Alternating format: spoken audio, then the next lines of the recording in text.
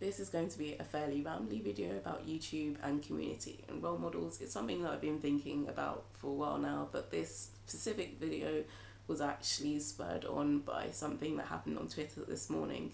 Basically, Carrie Hope Fletcher was recently in a video on the 401 show, which is done by the BBC, and they were talking about relationships. And one of the questions she was asked was, um, how to respond to being pressured into having sex or sending explicit images or just generally doing things that you're not comfortable with. And her response to that was it's about having the confidence and the self esteem and the self respect to say, I don't want this, I don't want to do this.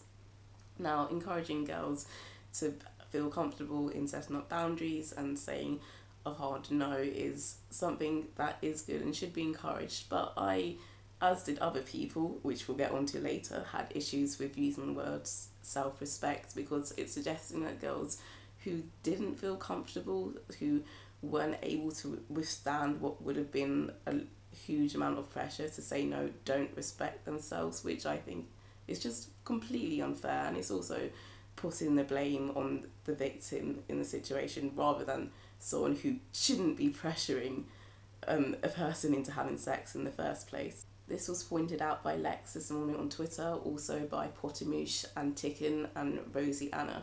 There was essentially a back and forth between Carrie saying that she meant well, she didn't mean how it came across, and she eventually did apologise, and also mainly Lex and also the other YouTubers I mentioned saying, well, you might have meant well, but this is how it's been interpreted by people who actually have been abused, and they feel like you're blaming them. I could make a whole video on boundaries and language you use in telling girls how to assert their boundaries, but this is going to be more about how quite a few people felt like Carrie was just being attacked. For example, Lex was actually called a bully, which I think is a really unfair accusation.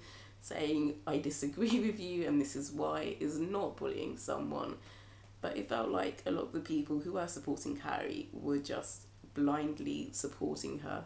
We are in a setup on YouTube where we do have different communities and we have various leaders in groups. We often talk about the YouTube community, but that's that there isn't such thing as such thing as just one the YouTube community. There are just so many different YouTubers now, and some of these different communities have names. Like you've got Nerdfighteria, which you could argue that Nerdfighteria isn't really set up as like focusing around John and Hank, but that is the way a lot of people do treat it. You've also got even communities like Splinkerinos, people who watch Splink- Sprinkle rather of glitter.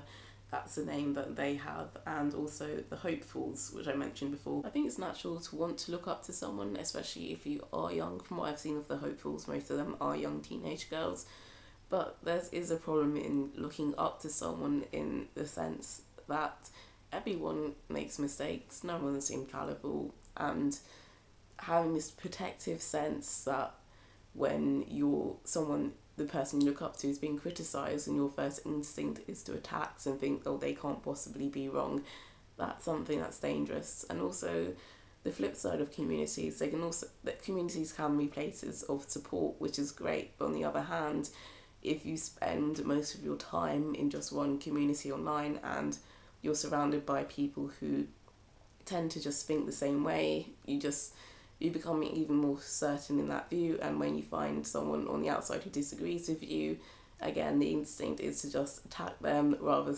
than to just like listen and also just thinking critic- critically about what's being said.